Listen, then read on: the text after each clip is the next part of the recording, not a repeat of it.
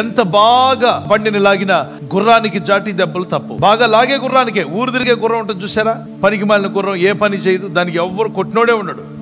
కానీ బాగా లాగుతూ బరువులు లాగుతూ తీసుకెళ్తుందే జాటి దెబ్బలు దానికి తగులుతూ ఉంటాయి. పని చేస్తూ కష్టపడుతున్న దానికి దెబ్బలు తగులుతాయి. బాధపడద్దు దానికి మంచి ఘనత వచ్చే రోజు రాబోతుంది. మంచి గుర్రం అండి.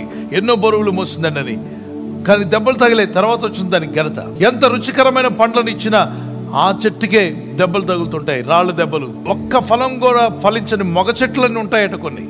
చెట్టు వేస్తే అది బాగా బలిసిపోయి పెరిగి ఉంటుంది కానీ ఒక్క కాయ దానికి ఒక్కడు దాని వైపు తిరిగి చూడడం దాన్ని ఏ మాట మాట్లాడు ఒక్క రాయి కూడా దాని వైపు ఇసినోడు కానీ దేనికి రాళ్ళు తగులుతుంటాయి? బాగా పళ్ళతో ఉందా? దానికి రాళ్ళు తగులుతూ ఉంటాయి. అయినా ఆ చెట్టు ఆగదు. ఎంతమంది రాళ్ళు విసిరినా రాయికి బదులుగా పండును విసురుతుంది. అది ఫలించిన క్రైస్తవుడు. ఎన్ని విమర్శలు వచ్చినా ఫలిస్తూనే ఉండాలి మనం. ఎవరేమనుకున్నా మనకు అనవసరం. ఫలిస్తూ ముందుకు పోతూనే ఉండాలి. దేవుని కొరకు ఫలిస్తూ ముందుకు సాగుదాం. ప్రియులారా ఈ